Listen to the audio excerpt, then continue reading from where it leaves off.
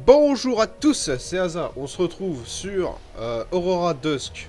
Aurora Dusk, qu'est-ce que c'est? Il n'y a pas plus indépendant qu'Aurora Dusk. Euh, je vous le dis tout de suite. Euh, donc c'est un jeu indépendant très particulier qui mélange des aspects de RPG, de stratégie, de gestion. Pas mal de choses donc. c'est tiré d'un jeu. Alors le, créateur de ce jeu avait déjà fait un jeu il y a très longtemps il y a presque, il y a plus de 10 ans, je crois même. Euh, c'est un jeu que je jouais souvent, qui est gratuit sur internet, euh, en téléchargement libre, sur, euh, sur, leur site. Et pour l'instant, cette ancienne version est plus complète que celle-là, mais celle-là, voilà, c'est voilà, Steam Age, l'âge de la vapeur, et c'est aussi l'âge voilà, de la sortie sur Steam. C'est une belle image, n'est-ce pas? Euh, donc on va tout de suite faire une escarmouche pour vous montrer un peu le principe du jeu. Je vais pas faire les petits tutos, les petites campagnes et tout. Il est pas très cher le jeu, il est à moins de 10 euros sur Steam et c'est une petite perle. Pour l'instant voilà, il vient de sortir, beaucoup de contenu à venir. Euh, en tout cas moi, il y a des années de ça, l'ancienne version je l'ai torché. Je l'ai torché, j'adorais ça. J'y jouais pendant des heures. Euh, ça avait un aspect un peu RPG Maker. C'était pas du tout fait sur RPG Maker, mais les sprites, les images et tout étaient reprises de RPG Maker. Et euh, au niveau des, items, des sorts, des magies, des compétences, c'était complet. C'est toujours complet, il est toujours disponible en téléchargement, cette ancienne version. Mais malheureusement, elle est mal optimisée pour euh, les nouveaux euh, ordinateurs ou quoi. Je sais bien que sur le mien, par exemple, c'est très compliqué de faire tourner le jeu. En tout cas, voilà, cette version-là est, correcte. Pour l'instant, il y a encore des petits crashs, etc. Mais c'est normal. Euh, c'est une version euh, d'esquisse, on va dire. Et euh, voilà, il y, a des mises à jour de temps en temps. Il est dessus. Et c'est good. On va faire une escarmouche. Je vous montrer un peu le principe. Voilà, on va prendre deux villes, etc. Donc ça fonctionne par ville. Vous, vous avez votre personnage. Donc voilà, par exemple, je suis niveau 2. Vous gardez vos compétences après chaque partie. Euh, tout ce que, toute l'expérience que vous gagnez, vous la gardez tout le temps. Donc euh, voilà, mon personnage est niveau 2, par contre c'est très long à augmenter. Euh, il y a deux villes pour Aurora. donc Aurora c'est la civilisation des humains avec les elfes et tout, la civilisation on va dire des gentils. Et Crépusculum c'est tout ce qui est monstres, morts-vivants, etc. Là j'en ai mis deux avec un de population, c'est pour agrandir la carte, parce qu'il n'y a pas encore d'option pour agrandir la carte. Du coup, je mets plus de villes, comme ça la carte est déjà grande de base.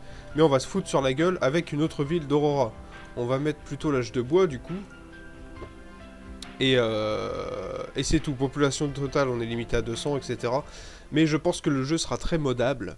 Il, il était déjà modable dans son ancienne version. Donc voilà, ça se présente comme ça. Tout ça, c'est notre population. Hein. C'est des PNJ. Ils font leur vie. Nous, on est là.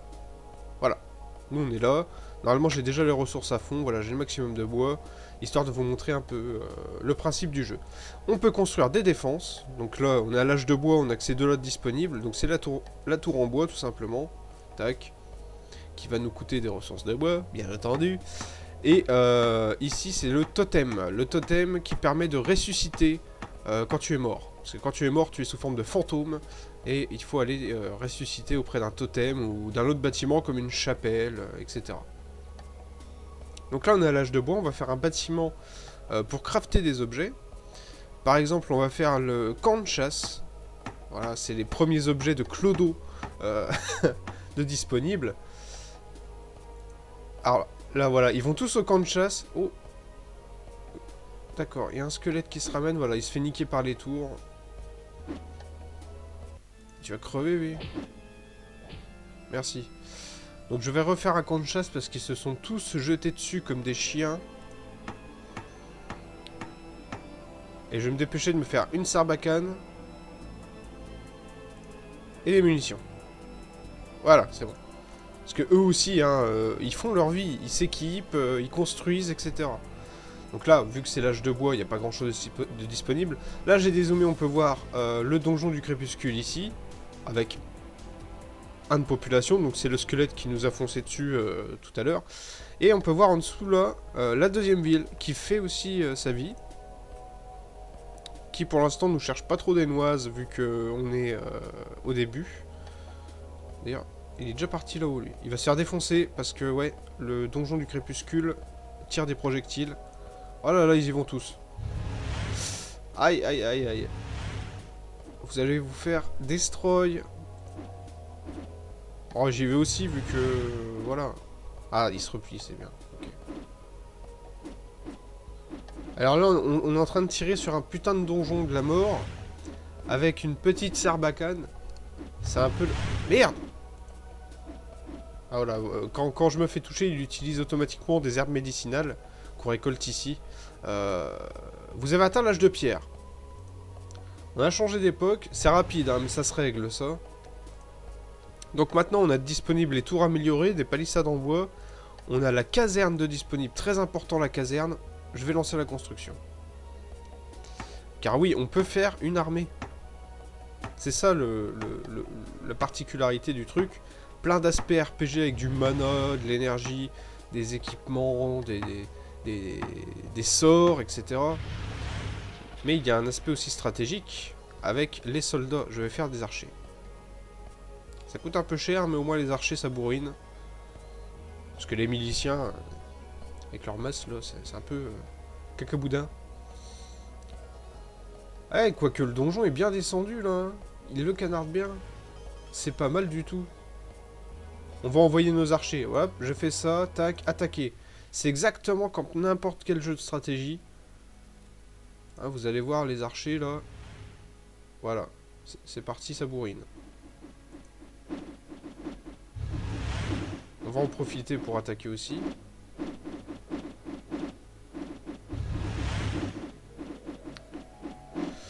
Donc l'époque, euh, ça va... Alors le prochain époque, c'est l'âge de fer. Après, c'est l'âge de l'âge de l'éther, je crois. Donc on commence à avoir les magies, euh, euh, etc. Après, c'est l'âge d'or. Et après, c'est l'âge de la vapeur. Donc en plus de la magie, on commence à avoir de grosses armes à feu, des canons, des robots, etc. vous voyez, c'est plutôt complet pour une première version, il y a moyen de s'amuser. Surtout que je pense qu'il y a moyen de bidouiller un peu le jeu euh, pour enlever les limites de population, etc. Mais là, par contre, à vos risques et périls, euh, je pense que le jeu risquerait de cracher souvent. Ça, ça se bastonne, là, ça se bastonne. Je vais foutre tout le monde dans l'agressif. À la guerre, c'est parti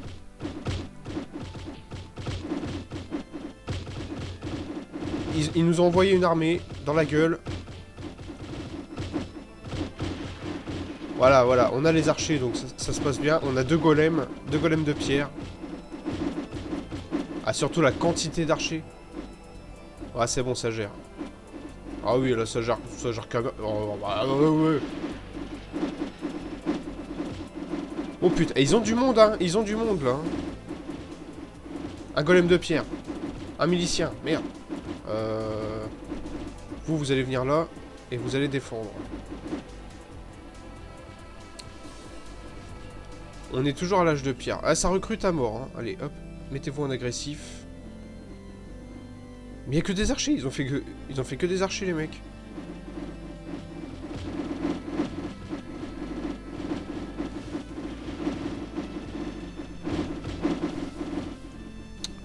Bon, on va les laisser avancer. Alors, moi, je me suis plutôt mis euh, dans la magie euh, rédemptrice. Euh, avec ce personnage en tout cas, parce que j'ai un autre personnage qui est un elfe noir, qui est plutôt nécromancien, etc. Euh, magie rédemptrice, je n'y ai pas encore accès, donc je vais attendre. Pour l'instant, je vais me faire un atelier d'archerie. Et je vais remplacer ma sarbacane pourrie euh, contre un arc, tout simplement, et des flèches.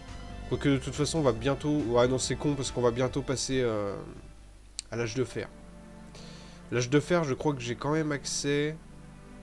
Oh là là, mais la quantité d'archers, mais c'est quoi ce délire?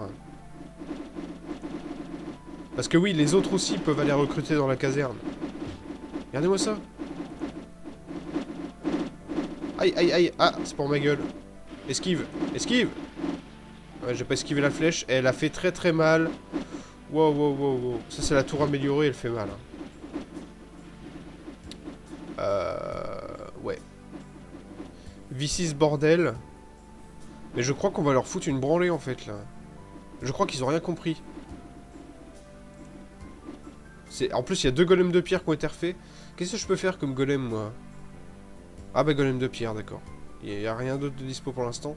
On passe bientôt à l'âge suivant. Euh, la maison, ça sert à se reposer dedans et regagner son énergie quand on n'a pas de nourriture. Euh, qu'est-ce que c'est ça? Un puits, d'accord. Moulin à vent, tout ça c'est le bâtiment d'artisanat. Atelier de maroquinerie. Après, on pourra faire l'atelier de couture, la distillerie, la fonderie. Voilà. On n'a pas encore accès à la magie pour l'instant. Sauf euh, via l'hôtel chamanique. On va faire l'hôtel chamanique. Voilà. Hôtel chamanique, on a accès au sceptre de foudre. C'est pas génial, mais euh, c'est déjà ça. On va en prendre deux, vu qu'on a deux mains. On peut utiliser deux sceptres en même temps. Ce qui est euh, assez ouf, c'est que, par exemple, on peut avoir deux sceptres, une ceinture qui fait un autre sort, une amulette qui refait un autre sort, et deux bagues qui font des autres sorts euh, chacune. En fait, quand on attaque, c'est un déluge de projectiles incompréhensibles. Et imaginez que tous les personnages comme ça euh, font de même, c'est un bordel monstre. Et là, ils ont recruté à mort. Ah, on va tout envoyer. On va tout envoyer. On s'en bat les couilles. Allez, hop. À l'assaut Oh là là Oh mon dieu Oh, c'est que des miliciens, c'est un peu de la merde, mais... Ah, ça c'est de l'armée, ça. Allez, go. Il y a un golem de fer, je crois. Donc là, j'ai mes sceptres. Voilà, je fais les attaques de foudre. Qui sont pas dégueulasses contre les bâtiments, ça va. Ah mais on comprend rien à ce qui se passe. On va péter la caserne, faut péter la caserne.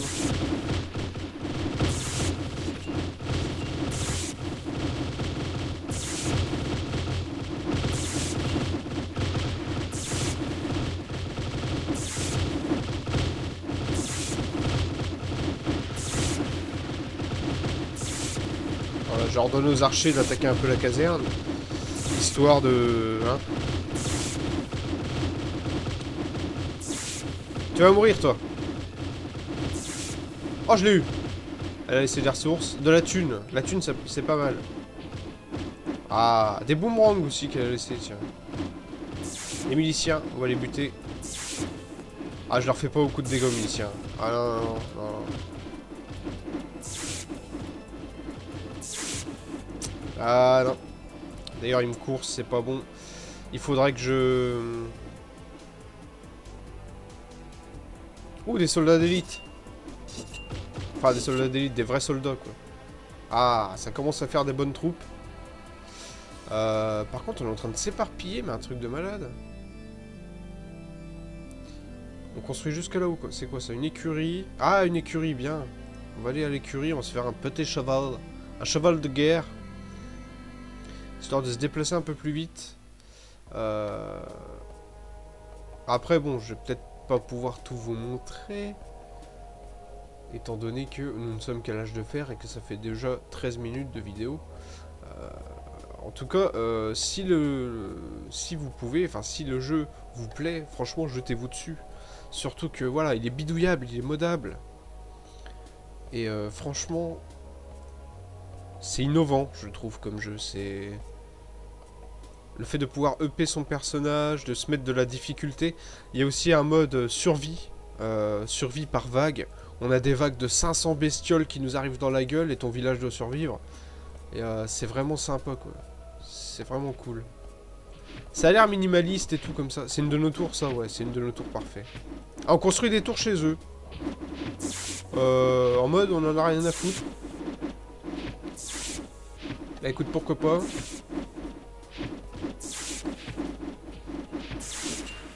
Ah, ils ressuscitent tous à la chapelle. Bah, je crois qu'on a gagné. Hein. Je crois qu'on a gagné parce que...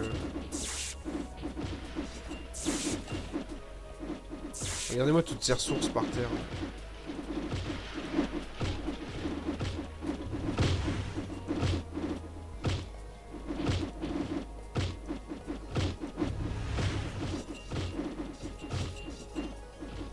C'est un pillage en règle.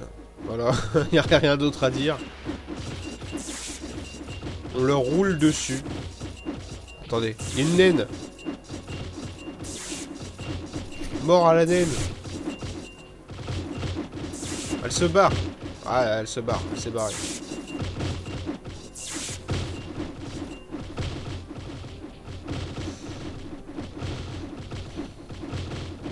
On les dégomme. Oh là là, mais toute l'armée qui est en haut Vous êtes sérieux?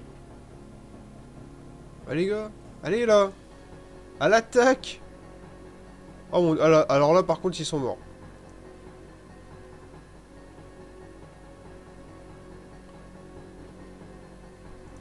Mon dieu. Je rêve où il y a un demi-elfe qui cherche la merde.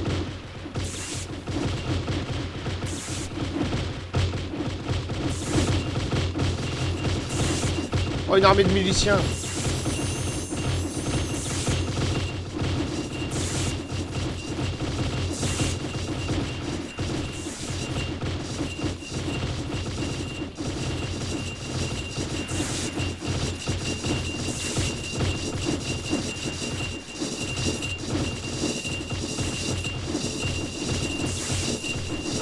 un bordel, ça gueule dans mes oreilles, mon dieu.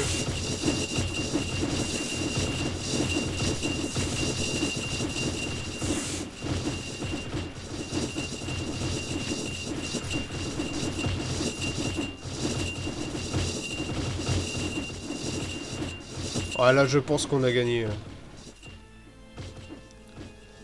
Je pense qu'on a gagné. Alors attendez, je vais rééquiper... Ah j'ai des saguets. Je vais équiper les saguets. Et euh, les boomerangs. Alors là normalement je tire, je balance des, javelots et je lance des boomerangs en même temps. Faut quand même être euh, sacrément... Tiens toi, tu es ma cible. Ah mais que dalle en fait. Ah si, ah non, il a fait les trois boomerangs et les sagas après, en fait. D'accord. Les sagas, c'est un peu pourri, hein. Ouais, ça balance des... Ouais, voilà. Wow, esquive, qu'est-ce que tu vas faire? Ah non, mais là, regardez-moi ça, le... Toutes les ressources par terre, comme on les a rasées. Oh, j'ai gagné des trucs, là. Couteau de lancer ou je sais pas quoi. Ouais, couteau de lancer, d'accord. Très bien. Eh ben écoute.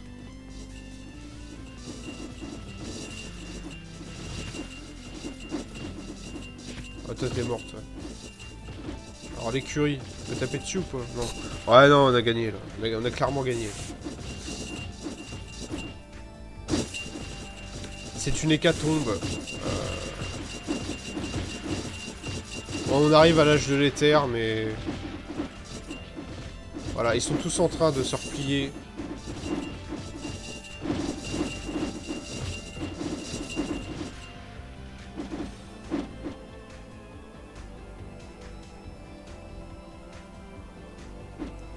Peuvent plus vraiment ressusciter là, ils sont coincés donc euh, voilà. Regardez le mec là, ils sont, ils sont seuls, ils sont seuls.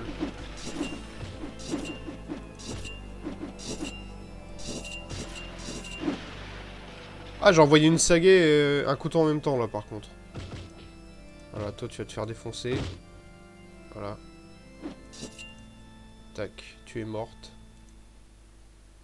Alors, pourquoi il me dit qu'il reste nombre d'ennemis présents? 277 Il n'y a pas 277 ennemis. Euh, quel est le fuc Normalement, il y a beaucoup moins de monde que ça. Alors ils sont un peu éparpillés donc... Euh, oh là là, mais ce, bordel...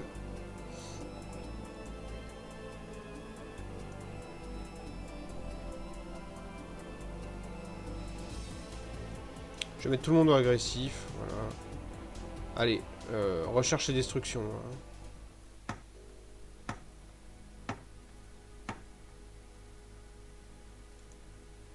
Où est-ce qu'ils vont là? La carte elle descend pas plus bas si ah, voilà, bah c'est bon, victoire. Donc il reste 271 ennemis, mais je crois qu'il compte les... Les fantômes. Donc les gens morts, c'est un peu con d'ailleurs. Euh, victoire, vous avez vaincu tous vos adversaires. On quitte la partie. Voilà, voilà. C'est la glorieuse armée qui a... Euh, remplie de golems, de, fer, de pierre. Là encore, franchement, on était qu'à l'âge de l'éther. C'est là où ça commence normalement à être fun. Mais là, c'était très très vite. Euh, voilà. Parce qu'en fait, ils ne gèrent pas leurs armées, j'ai l'impression. L'IA ne fait pas d'attaque avec euh, une armée. Ce qui est un peu dommage, mais le jeu est en développement. Hein. Donc forcément. Et euh, voilà, c'est à peu près euh, le tout que je peux vous montrer, euh, enfin que je vous montre en tout cas. après, bon, il y a tout ce qui est magie, nécromancie, on peut invoquer des squelettes, des zombies. Il y a énormément de choses à faire. Et n'hésitez pas à chercher l'ancienne version du jeu aussi, qui s'appelle Vendetta. Vous cherchez Vendetta le jeu de rôle, et vous trouverez l'ancienne version qui ressemble à, avec les sprites d'RPG Maker et tout, qui est euh, plus complète pour l'instant, euh, vu que l'ancienne version est terminée, forcément. Euh, en tout cas, voilà, ce jeu promet beaucoup de choses, je le sais. Je sais que ce jeu va être super. Donc c'est du petit jeu indé français, s'il vous plaît. Donc voilà.